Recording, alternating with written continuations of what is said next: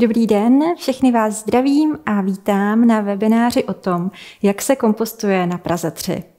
Moje jméno je Sonja Houšová a dalších několik desítek minut vás budu provázet touto prezentací a pokusím se vám sdělit co nejvíce informací o komunitním kompostování. Než se, na to pust, než se do toho pustíme, a, tak bych vám jen krátce ráda pověděla, že pracuji pro společensky prospěšný podnik Kokoza, a, který se věnuje urban gardeningu, tedy pěstování ve městě, ale také kompostování. Máme vlastní integrační dílnu, se kterou vyrábíme vyvýšené záhony, kompostéry, ale také třeba seedbomby a zakládáme komunitní zahrady. Co nás dnes čeká? Budeme se bavit převážně o komunitním kompostování, o tom, jak zvolit správný městský kompostér, eh, kde jsou na Praze tři kompostéry umístěny, jak celý projekt probíhal, jak je důležité pracovat s komunitou a jak využít výsledný kompost. Na úvod by bylo určitě fajn zmínit, proč se vlastně tématem bioodpadu a jeho zpracováním zabýváme, proč má smysl třídit bioodpad a proč se touto tématikou v Kokoze už 9 let zabýváme. Bioodpad tvoří opravdu velké množství. Udává se, že až 40 eh, z celkového množství, množství směsného komunálního odpadu tvoří právě bioodpad. A také se udává, že jedna osoba vygeneruje za rok až 100 kg bioodpadu. Pokud se bioodpad správně nevytřídí, tedy eh, pokud nekončí někde na kompostu, tak většinou skončí v černé popelnici na směs. Odtud poté putuje na skládku nebo do spalovny. Na skládce může bioodpad eh, způsobovat únik skleníkových plynů, zejména metanu, a také uvolňovat nebezpečné výluhy. Ve spalovně zase působí kontraproduktivně, protože když si bioodpad představíme, jedná se opravdu o materiál, který je velmi vlhký, vodnatý, mokrý a je tedy potřeba vyvinout více energie pro to, aby zahořel. Nejdůležitější ale podle mě je fakt, že půda je v současné době opravdu v kritickém stavu a podle ministerstva zemědělství je až 54% zemědělské půdy ohroženo erozí. Tohle všechno eh, můžeme změnit tím, že budeme do půdy přidávat právě organickou hmotu nebo kompost. Možná jste také zaznamenali snímky z médií, například z Jižní Moravy, kde některé úrodné lány se nám postupně proměňují v pískoviště. Abychom nebyli jenom v těch eh, negativních informacích, tak eh, si můžeme říct, eh, jaký přínos vlastně kompost pro půdu přináší. Především je to to, že dodává půdě živiny. Dobře vyživená půda poté může plodit kvalitní suroviny, kvalitní plodiny a můžeme získat také vyšší výnosy. Jde o to, že kompost opravdu pomáhá vytvářet pěknou strukturu půdy. Dostává se tam ta živá složka, ten um, variabilní svět všech mikroorganismů, které tvoří a mm, vlastně dělají půdu živou. Taková super vlastnost kompostu je jeho schopnost eh, pomáhat půdě zadržovat vodu v krajině, což, což je velmi aktuální téma právě v posledních letech, kdy nás trápí velká sucha. Proto v poslední době mluvíme o kompostu také jako o nástroji, který dokáže zmírňovat dopady klimatické změny. Tak, v loňském roce se nám podařilo na Praze 3 umístit pět komunitních kompostérů. A je to také hlavně díky městské části Praha 3, které za to velmi děkujeme, která byla tak odvážná a progresivní, že s námi do projektu umistování komunitních kompostérů šla. Co to vlastně je, to komunitní kompostování? Asi si to sami jednoduše odvodíte. Komunitní, komunita, nějací lidé a kompostování. Tady bude tam zřejmě nějaký kompostér, do kterého se odhazují ty zbytky. Je to přesně tak.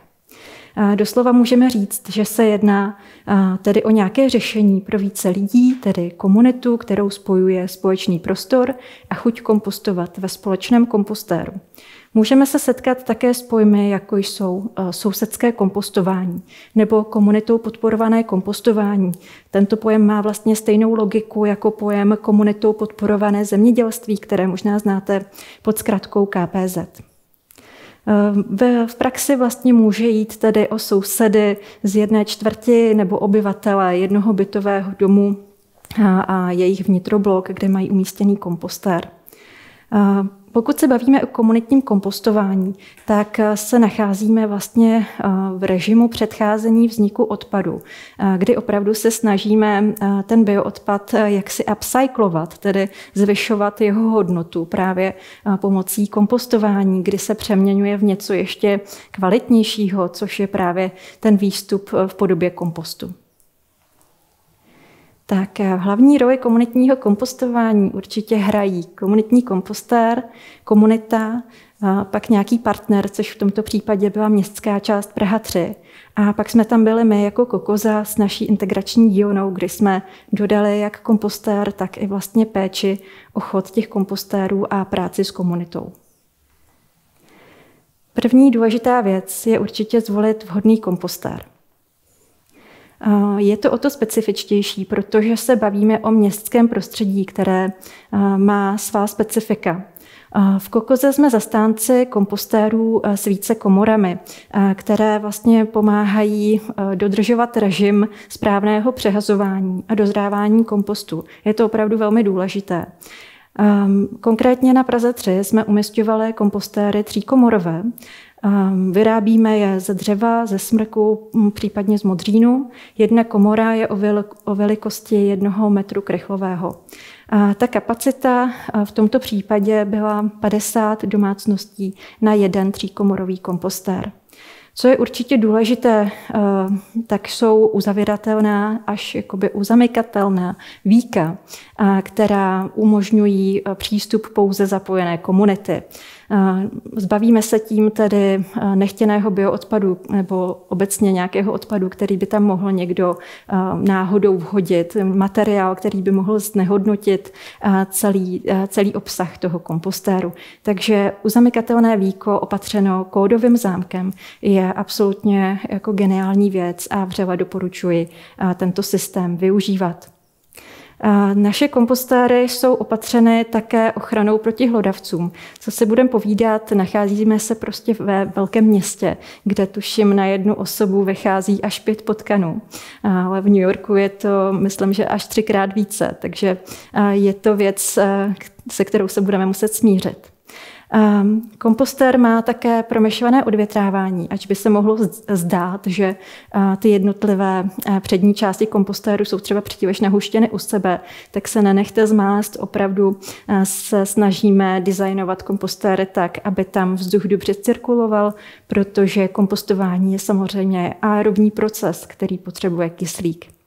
No a jak už jsem zmiňovala, ty kompostéry vyrábí naše integrační dílné organizace Kokoza, ve které zaměstnáváme kolegy s duševním onemocněním. Tady můžete vidět konstrukce toho kompostéru. Snažíme se myslet i na malé detaily, například to, že si můžete zapřít víko, když vynášíte svůj bioodpad, tak abyste pohodlně mohli vysypat svůj kýblíček s bioodpadem. Současně jsou odnímatelné přední části, aby se mohl kompost dobře přehazovat. Následuje e, po výrobě kompostéru vždycky e, instalace kompostéru, na které se podílí teda také kolegové z integrační dílny. Už v tom, e, už v tom máme docela zručnost a takovou instalaci zvládneme zhruba během jedné hodiny. Tak, nyní se podíváme, kde vlastně jsou na Praze 3 komunitní kompostéry umístěny. Předtím bych možná ještě zmínila, že zájemce a lokality jsme mapovali pomocí dotazníků, který jsme šířili eh, skrze sociální sítě. Předtím, než jsme samotná místa vybrali, tak jsme eh, vlastně chodili eh, a obcházeli jednotlivé typy eh, pro umístění společně se zástupci městské části Praha 3. Bylo to velmi důležité a tento krok doporučuji vždycky udělat. Opravdu na to místo fyzicky zajít a podívat se, jestli je dobře dostupné, jestli je tam rovný terén, jestli je tam třeba trochu i nějaký polostín a jestli by se dal umístit například někam k plotu nebo někam, tak aby třeba nezavazal nebo neohrožoval um, třeba i svojí estetikou to prostředí. Tak uh, na Praze 3 tedy najdeme pět komunitních kompostérů. Jeden se nachází ve vnitrobloku Radhoštská, což je vnitroblok, který je otevřen vlastně přístup, přístupný komukoliv. Myslím, že se zamyká pouze na večer, na noc, takže určitě se neváhejte tam zajít podívat. Nachází se v horní části tohoto vnitrobloku. Ve vnitrobloku je také dětské hřiště, takže často tam lidé chodí a často je tam ruch a proto si myslím, že tohle místo bylo opravdu velmi dobře strategicky zvoleno. Um, vlastně i tahle lokace vnitroblok Radhošická byla jedna z prvních, uh, která byla plně obsazena a až jsme museli zavést seznam náhradníků. Um, věřím, že je to tím, že opravdu kompostér je obklopen ze všech stran bytovými domy a jsme rádi, že se to tady setkalo s takovou velkou odezvou. Podobně to bylo eh, v ulici Koněvová, kde jsme umístili komunitní kompostér za policejní stanice. I tady jsme měli velmi rychle naplněnou kapacitu 50 domácností a museli jsme začít eh, psát list eh, náhradníků. Další třetí místo, také velmi populární, byla ulice Žerotínová, kde jsme umístili kompostér na takovém mm, nevyužívaném plácku u plotu mateřské školky. I zde pozoruji mm, moc pěkně fungující komunitu. Mám pocit, že už e, se mezi sebou možná i znali předtím. Je tam hodně rodin s malými dětmi a pozorovat je například při tom překopání kompostu bylo moc fajn.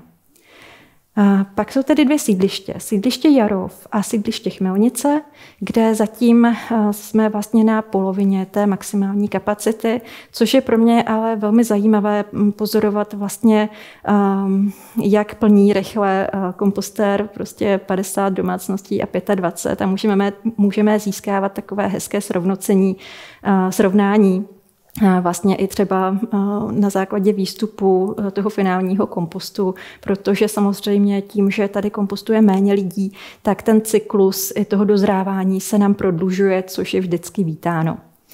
No a aktuálně se zvažuje také rozšíření projektu, tak uvidíme, jestli ještě někde nějaký komunitní kompostér třeba nevyroste. Tak, aktuálně je tedy do projektu zapojeno 207 domácností, což je tedy úžasné číslo a jsme za to velmi rádi. Jak už jsem zmiňovala, práce s komunitou je opravdu klíčová. Komunitní kompostování je především o lidech. A proto se snažíme s komunitou pravidelně pracovat, ono to ani jinak nejde, a komunikovat, reagovat na jejich doplňující dotazy a postupně jim předávat veškeré know-how a vzdělávat je v tom, aby to kompostování bylo co nejvíce efektivní a bezstarostné a aby si to všichni zažili a věděli, jak s kompostérem pracovat. My jsme se rozhodli, že um, pro nějakou i jako dlouhodobou udržitelnost a správné fungování toho kompostování, um, že zvolíme uh, správce kompostu, což se nám podařilo. Uh, všech pět kompostérů má svého vlastního správce nebo správkyni. Jsou to lidé, kteří drží jakousi ochranou ruku nad uh, těmi kompostéry. Jsou to nadšenci, kteří nám na tuhle funkci kývli. Nicméně to neznamená, že všechno bude padat na jejich bedra, že tam sami budou překopávat kompost. Takhle to určitě není myšleno. Jenom je to osoba, se kterou eh, prostě komunikujeme napřímo a řešíme nějaké zásadní eh, věci. My vlastně s tou komunitou eh, komunikujeme pomocí dotazníků, což bylo v té první fázi. Dále jsou to e-maily a facebookové skupiny. Facebookové skupiny jsou skvělý nástroj pro uh, rychlé odpovídání na dotazy, například jako co patří, nepatří na kompost, sem tam jsou tam různé pikantnosti a člověk dokáže rychle reagovat. Nicméně ne každý tyhle uh, sociální sítě využívá, takže nějaké zásadní informace stále komunikujeme pomocí e-mailů. Aby byla komunita eh, dobře mm, nabrýfovaná a vzdělaná, tak jsme se rozhodli eh, vlastně aplikovat workshopy. Ten první eh, vlastně proběhl vždycky při tom zahájení kompostování na každé lokalitě, při tom samotném křtu kompostéru, kde jsme vlastně si povídali o základních pravidlech kompostování a převážně o tom, co patří a nepatří do kompostu, což jsou vždycky takové nejčastější dotazy. Ale také jak se kompost používá nebo jak se kompost přehazuje. Na, na toto téma už také proběhly workshopy. Chceme vlastně prakticky ukázat, jak se kompost přehazuje, proč se to dělá, jaký to má význam a vlastně naši kolegové tím překopáním kompostu tu komunitu provází, aby si tyhle aktivity také sama osvojila. No a komunitní kompostování má také další rozměr, kromě toho environmentálního je to také, také sociální uh, dopad. A je to o tom, že pěstujeme sousedské vztahy nebo obecně vztahy Ehm, vlastně už jenom to, že eh, je tady nějakých 50 domácností, které eh, mají chuť eh, dělat něco navíc, tedy třídit bioodpad, tak už je pravděpodobně spojuje nějaká společná hodnota. Pravděpodobně jsou to lidé, kteří mají vztah k životnímu prostředí, kteří chtějí dělat něco navíc. Tak ehm, jsem ráda, když vidím, že se lidé propojují, seznamují a mm, přitom jsme mm, venku na vzduchu při aktivitách, které člověka i třeba potěší, zrelaxují a pomůžou třeba přijít na jiné myšlenky. Tak, když jsem mluvila o tom, že předáváme především informace o základních pravidlech kompostování, tak je to především o té skladbě bioodpadu. A je potřeba určitě myslet na to, že je dobré míchat hnědé se zeleným a kyslík a teplota jsou také důležité faktory. Ehm, vlastně to hnědé se zeleným, ehm, my víme, že komunita bude z větší části přesypávat eh, především tu zelenou složku. To jsou tedy ty dusíkaté materiály, ty slupky a odřezky od ovoce a zeleniny z domácnosti. A proto eh, vždycky dodáváme eh, štěpku, která zase pomáhá dodávat tu hnědou složku, tu uhlíkatou. A ta, ta je velmi důležitá, nesmí se to podcenit, takže zdroj štěpky je určitě velmi důležitý důležitý faktor pro správné kompostování. V praxi kompostéry pravidelně kontrolujeme, navštěvujeme a tu dřevní štěpku přisypáváme. Vhodné jsou také hobliny, případně piliny a zatím tedy pomáháme i s tím přehazováním kompostu. Je fajn, že na pár lokacích eh, jsou lidé, kteří doma mají třeba nějakého bíložravého mazlíčka, například králíka. A s těmito rodinami jsme se domluvili, že bude skvělé, když budou nosit jejich podestýlky do kompostéru. Tyhle materiály mají skvělé absorpční vlastnosti, takže skvěle natáhnou eh, tu přebytečnou vodu, která je obsažena v bioodpadu pomůžou dodat pěkně uhlík do, a strukturu do kompostu. Tak eh, tím se dostáváme k využití samotného kompostu, který vzniká eh, v komunitních kompostérech. Eh, na začátku se nás všichni ptali, jak to bude, kdo si bude moct kompost vzít. A opravdu je to myšleno tak, že kdo má zájem z té komunity, tak se potom může přijít a kompost si odebrat do kýblíčku, do pytlíku, podle toho, kolik bude potřeba. Samozřejmě ehm, záleží, pokud by se všechno nespotřebovalo nebo nevyužilo, tak eh, ten zbytek se může aplikovat například ke keřům, ke stromům v blízkém okolí v té lokalitě. Určitě eh, tomu jako velmi prospějete té půdě kolem. Nicméně lidé se často obávají, že toho kompostu bude jako obrovské množství a že to se to nespotřebuje a co s tím budeme dělat. A tak jenom bych ráda zmínila, že ve skutečnosti v praxi to tak není. A vlastně z, té celkové, z toho celkového množství, třeba z té jedné komory naplněné bioodpadem, získáváme pouze jednu třetinu vlastně toho kompostu. Ono opravdu ten kompost se postupně slehává, smrskává se. Teď jsme třeba na jedné polovině a věřím, že si to ještě jako sesedne, až budeme sklízet. Takže uvádí se zhruba ta jedna třetina toho původního množství bioodpadu. Jinak eh, jsme rádi, že na některých lokacích se ozvali také lidé, kteří nabízeli, že pokud by zájem o ten kompost nebyl, takže rádi eh, si odeberou všechen zbylý kompost, protože eh, mají tuším vyvýšené záhony, které opravdu sežerou hodně toho kompostu, tak to je samozřejmě vždycky fajn, když je tam nějaký takový nadšený pěstitel, který, který má to využití pro ten kompost. Tak, eh, jaké jsou naše postřehy z toho komunitního kompostování? Jsou to spíše takové eh, praktické rady. Určitě doporučujeme, aby lidé sekali ten bioodpad na menší kousky, aby tenhle krok udělali už, už doma. A protože eh, když to doma neudělají, tak s tím pak máme práci právě při tom přehazování kompostu, kdy jsme vždycky zatím museli udělat jedno stanoviště, kde je člověk se sekerkou a seká ty velké kusy na menší kousky, protože u kompostování platí, čím menší kousek, eh, tím rychlejší rozklad. Jo. Opravdu se k tomu eh, ty mikroorganismy rychleji dostanou, rychleji se to roz, rozkládá, tak určitě to má smysl, protože na každé té lokaci jsme zatím ehm, museli sekat třeba pomeranče v celku, mandarinky v celku, brambory, řepu. A to jsou opravdu velké kusy, které zbytečně zabírají eh, velkou kapacitu eh, toho kompostéru a navíc teda by se rozkládaly eh, jako o hodně díl. Další postřeh je určitě s tím přidáváním suchého materiálu. Toho se, jako se přidává obvykle málo, je potřeba na to myslet a um, také jsme říkali lidem, aby klidně přihazovali natrhané roličky od toaletního papíru, případně proložky od vajec. To jsou materiály, eh, které také krásně dodají jak strukturu, tak právě ten uhlík. Ta štěpka a vůbec eh, tady ty suché materiály pomáhají vlastně zajistit tu, eh, ten správný poměr uhlíku a dusíku, což je klíčové eh, pro ten proces kompostování.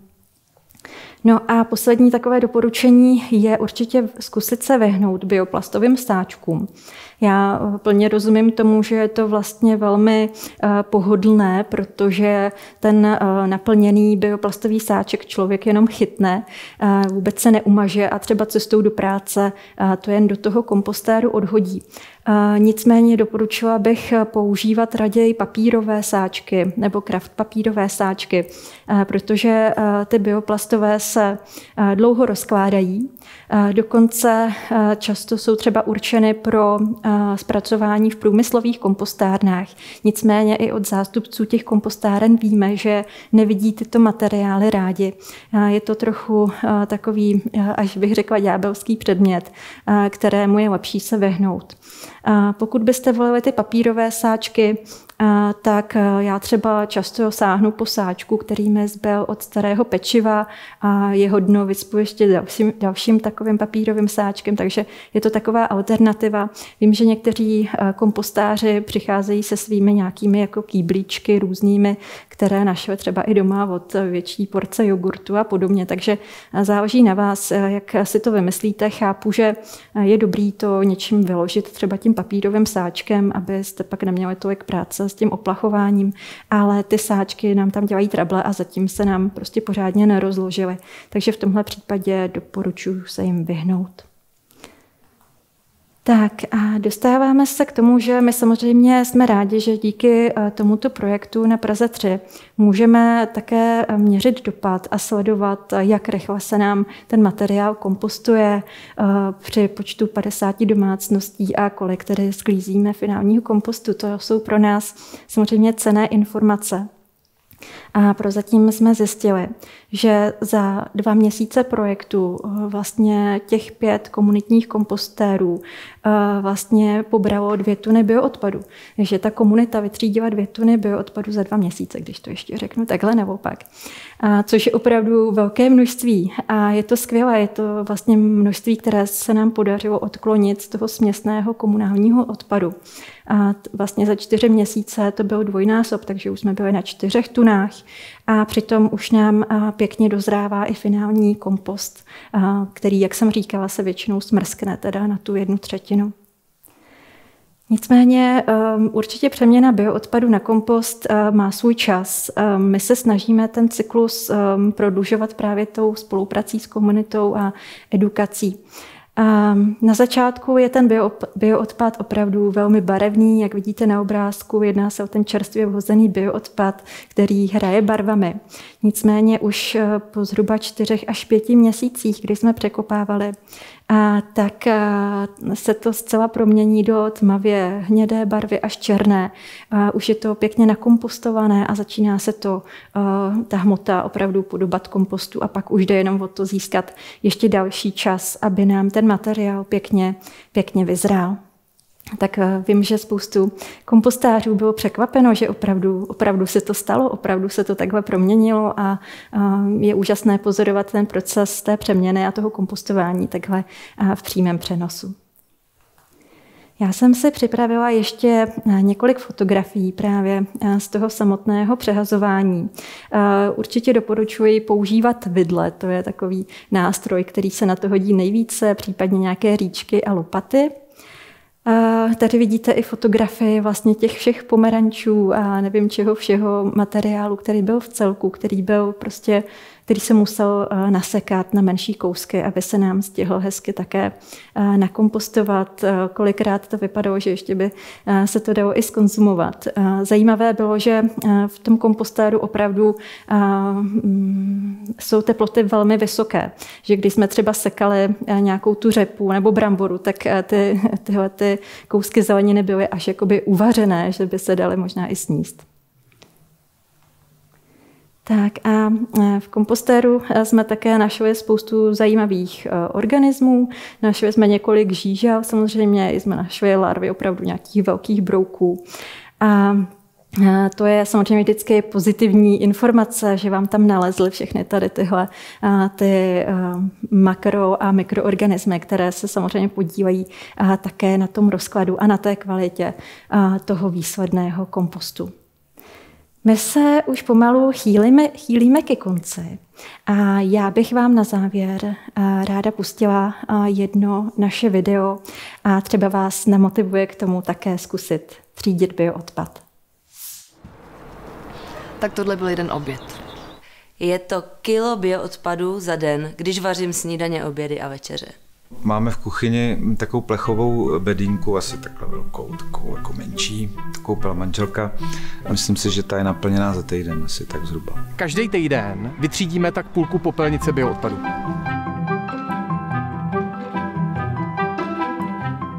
Všechny babičky kompostovaly a tety kompostovaly, tak mám pocit, že to je vlastně fakt automatická věc. Vlastně kompostujeme celá rodina, my, my, nás to baví. To je moje žena i moje čtyři děti, všichni kompostujeme. Jsem si pořídila před pár lety vermikomposter se žíželama, už jenom z takového toho výchovního hlediska, že to děti bude bavit, že jim to vysvětlím. Protože je to vlastně nejpřirozenější cyklus. Myslím si, že lidi málo kompostuju proto, že se bojím, že jim to na jejich krásných zahradách bude zapáchat. A myslí si třeba, protože bydlejí v bytě, tak nemají ty možnosti a že to vlastně není reálný. Já si nemyslím, že kompostování je složitý, jenom si myslím, že to člověk musí mít zažitý. Dobře založený kompost, o který se staráte, voní, ne že zapáchá. Málo kdo vlastně využívá nebo recykluje ty organické potraviny a přitom to je ten úplně největší základ, úplně to nejjednodušší, je to, co dává největší smysl. Ten zbytek těch živin, který už třeba pro nás eh, tak eh, výživný nejsou, eh, no tak můžeme vrátit té zemi a zase pro ní to výživný je. Vy to možná ani nevíte, a máte přesně tohle na dně svých odpadkových košů. Tohle je kompost, to je surovina, ne odpad.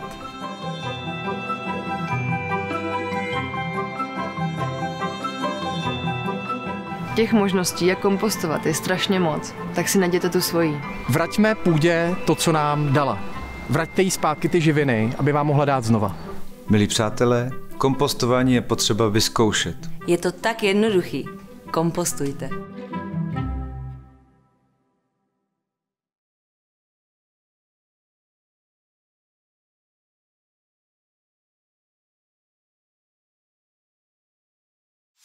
Dostáváme se do úplného závěru dnešního webináře.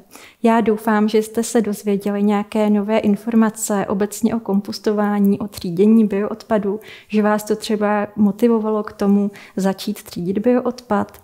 A ráda bych také poděkovala ještě jednou městské části Praha 3, která se tedy odhodlala s námi do projektu komunitního kompostování jít.